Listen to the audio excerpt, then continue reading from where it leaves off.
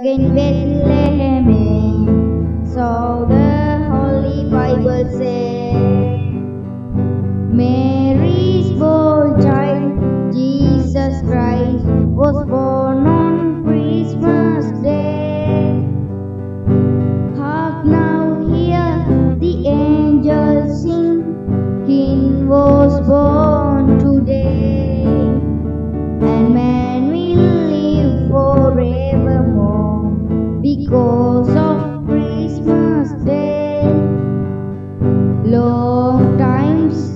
Bethlehem, so the Holy Bible says.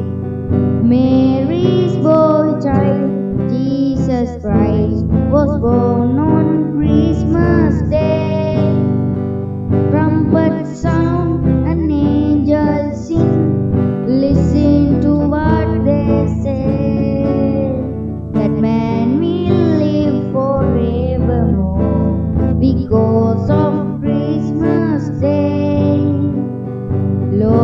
times again Bethlehem, so the Holy Bible says, Mary's boy child, Jesus Christ, was born.